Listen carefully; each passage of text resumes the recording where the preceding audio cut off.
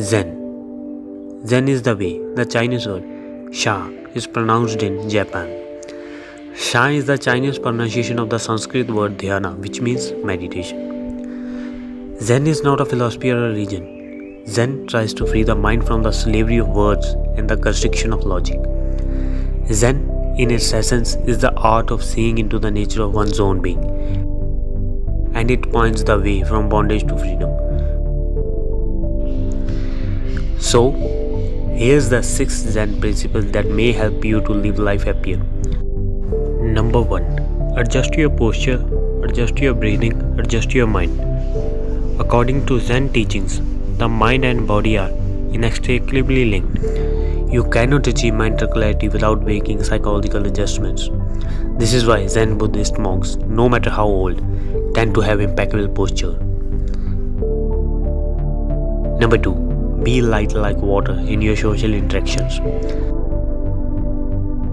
Chinese philosopher Zhuangzi once said that relationship should be light like water.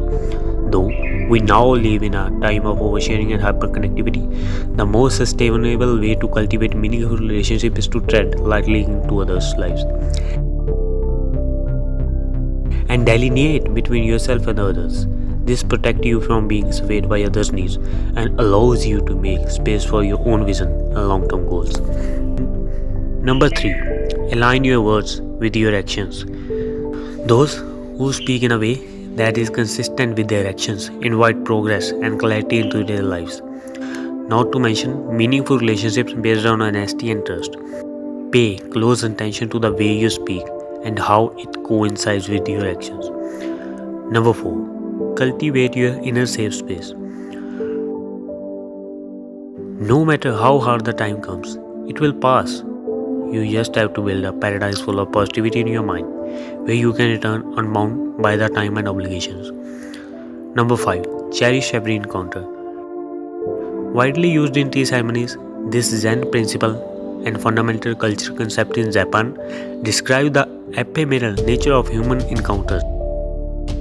When tea masters Sen no Rikyu and Ii Naosuke served tea to their guests, they moved with remarkable deliberation to honor the fact that the meeting could never be repeated or replicated.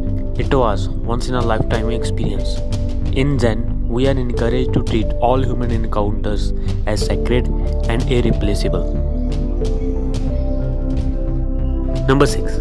Surround yourself with people you admire. Back in the day, clothes were stored away with an aroma pouch to keep them fragrant. So, when you put on a robe that had been stored away for a while, you were enveloped in a fine aroma. The robe itself was odorless, of course, but the fragrance that it inherited elevated the experience of getting dressed in the morning. This principle can be applied to the interpersonal relationships. Surround yourself with people you admire, and soon you too may inherit their fine qualities.